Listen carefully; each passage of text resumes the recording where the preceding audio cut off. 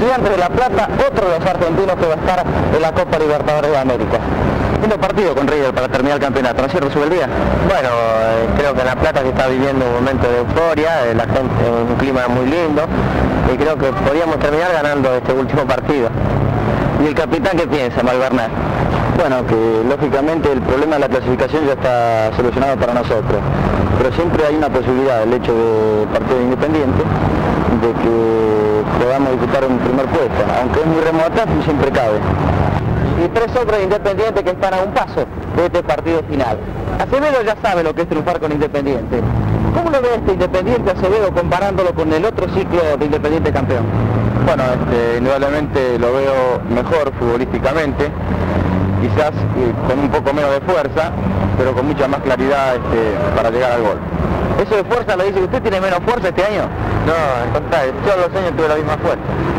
Pero la fuerza entendida con aguantar el partido en 90 minutos.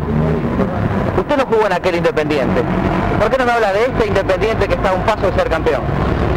Bueno, este Independiente yo creo que aquí hay una gran muchachada, que hay muy buena gente, que cada cual sabe lo que tiene que hacer. Cuando recibimos instrucciones de un gran técnico, que no tenemos ningún problema ni con él ni con los dirigentes.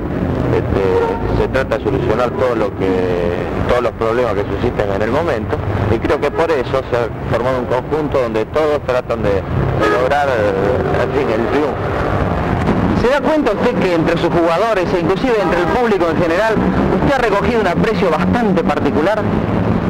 Eu sinto esse apreço que o público tem comigo, como eu tenho para o povo argentino, ao passar pelas cajas, mesmo na cancha, sair da cancha, é, senhoras, senhoritas, crianças, toda pedir que eu fique. Então eu sinto que nesse momento eu tenho uma popularidade bem maior do que aquela em 61.